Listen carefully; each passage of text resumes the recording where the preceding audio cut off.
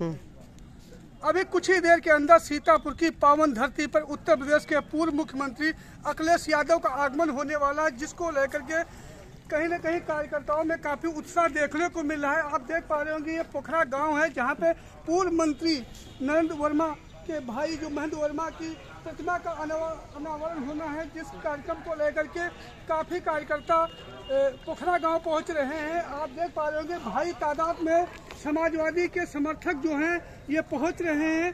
भारी समर्थक कहीं ना कहीं विपक्षियों के होश उड़ा रहा है। बीजेपी के भी कई नेता आज समाजवादी का दामन थामेंगे, जिसको लेकर के सीतापुर के बिस्वा विधानसभा के पूर्व विधायक रामपाल यादव आज हज़ारों की तादाद में कार्यकर्ताओं के साथ समाजवादी में शामिल होंगे।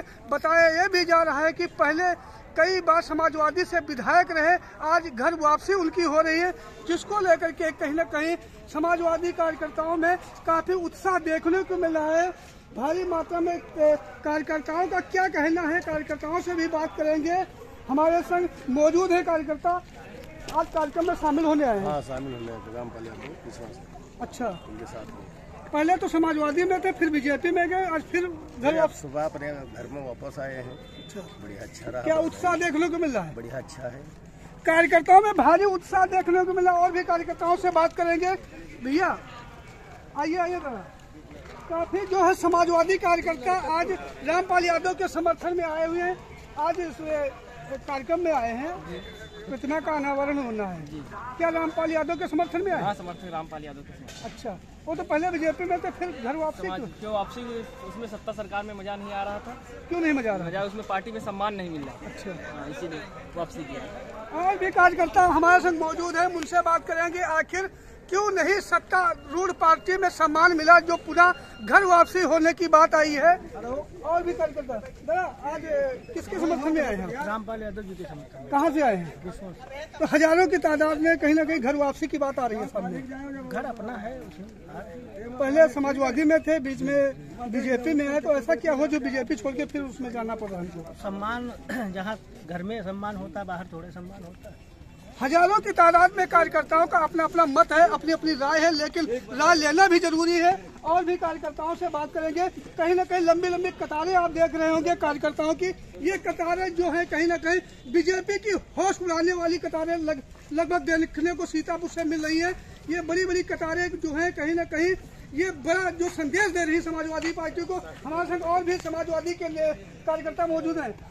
नेताजी आज विश्वा रामपाल यादव के समर्थन में आज प्रतिमा का अनावरण होने वाला है पूर्व मंत्री के यहाँ पे। जी जी हम महेंद्र सिंह वर्मा की पूर्ण तीर्थ जो मूर्ति का अनावरण होना है आज उसमें आए कार्यक्रम में। तो क्या रामपाल यादव के समर्थन में आए नहीं रामपाल यादव समर्थन में हम किसी के नहीं आए हम दादा की पूर्ण स्मृति में आए।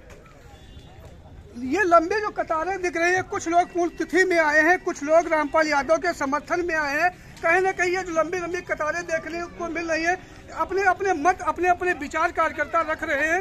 देखने वाला वक्त होगा और भी कार्यकर्ताओं से बात करेंगे। आज कार्यक्रम में शामिल होने आए हैं। हाँ भाई शामिल होने आए अच्छा ये जो प्रतिमा का अनावरण होना है रामपाल यादव के समर्थन में आए नहीं मास्टर साहब। मास्टर साहब के समर्थन में है। ये कहीं ना कहीं बड़ा कार्यक्रम जो है उत्तर प्रदेश का माना जा रहा है। और चुनाव 2024 का नज़दीक आते ही सभी पार्टियाँ अपने अपने हथगंडे ज़रूर अजमाना अजमाती हैं, लेकिन ये जो प्रतिमा का अनावरण होना है, कहीं ना कहीं लोगों को भी जोड़ने का माध्यम बन रहा है। ये भारी जो कतारें जो दिख रही है, देख रहा, देख पा रहे होंगे, हज़ारों की तादाद में यहाँ पे जो है कार्यकर्ता पहुँच रहे हैं और कार्यक्रम को सफल बनाएँगे।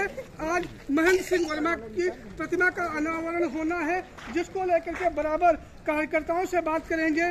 कुछ कार्यकर्ता जो है, रामपाल यादव के समर्थक आप यहाँ ये कार्यक्रम में कहाँ से आई हैं बिचारा कौन विश्वास से आई हैं अच्छा अच्छा।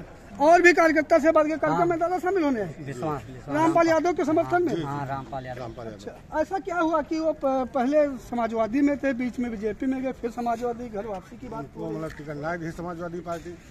छोड़ दी ना तो टिकट न, न देने की वजह से पार्टी को कोई और भी राजनीति कर रहे हैं? बहुत हुआ इसलिए छोड़। अच्छा तो आज घर वापसी हो रही है? जी। जी।